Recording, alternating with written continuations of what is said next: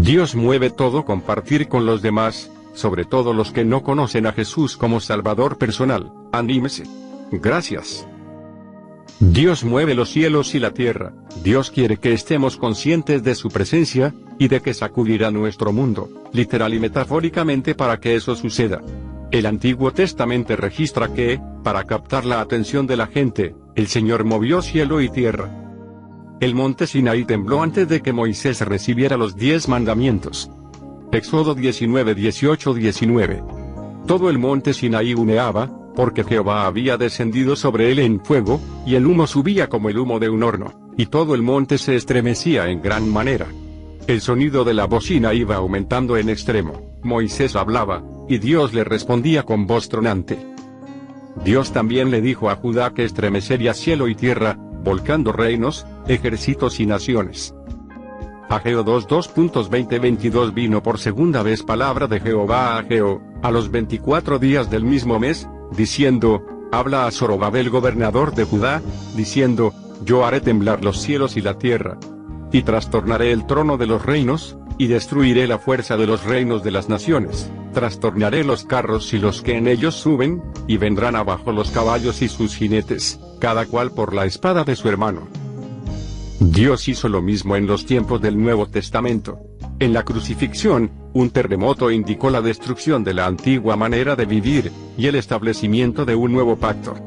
Mateo 27:51 Y he aquí, el velo del templo se rasgó en dos, de arriba abajo, y la tierra tembló, y las rocas se partieron.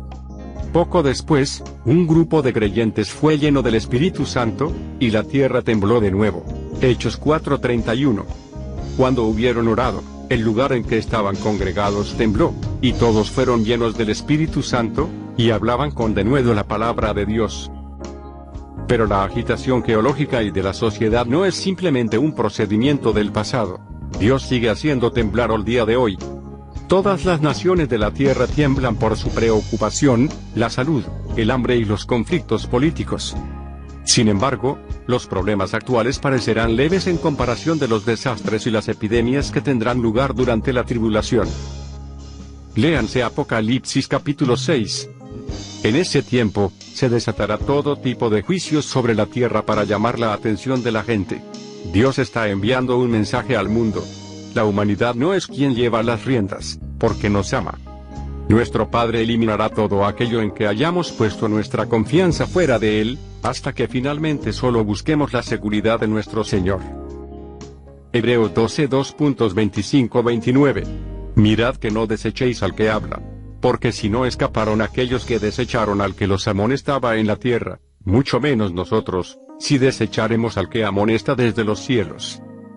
La voz del cual conmovió entonces la tierra, pero ahora ha prometido, diciendo, aún una vez, y conmoveré no solamente la tierra, sino también el cielo.